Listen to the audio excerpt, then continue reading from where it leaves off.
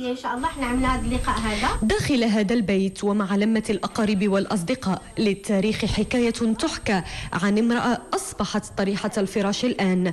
امرأة صنعت الحدث حينما كان صنعه حكرا على الرجل.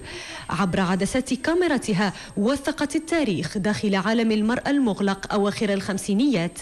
رحيم الحوزي المرأة التي ولجت عالم التصوير الصحفي لتكون أول امرأة بالمغرب تصنع الاستثناء. هي الآن في حاجة لأن تذكر بعدما كانت هي من تصنع الذكرى عبر الصورة. الله يرحمه كان صعيب عليها باش باش يتقبل المواطن.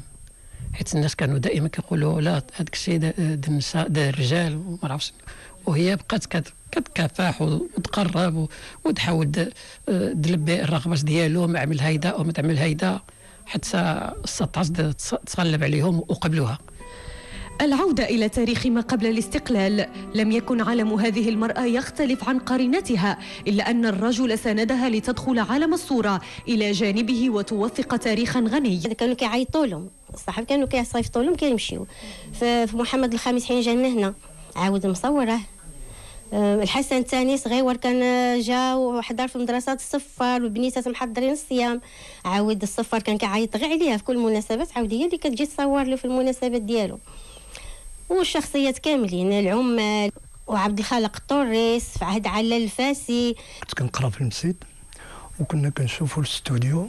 حنا في ديك الوقت باقي ما كان كنا كنعرفوا غير النصارى هما اللي مصورين وكذا. استغربوا كنا كنشوفوا السيدة امرأة انيقه بآلة التصوير والفلاش وماشيه بحر الرزانه حنا كنشوفوا كنستغربوا لأن كنا محافظين. وكنا كنشوفوها كيستدعوها الحفلات الأنشطة اللي كتكون مثلا في العمالة لما كيجي شي نشاط وزاري هذا كانت كتقوم هي بالتغطيه الصحفية.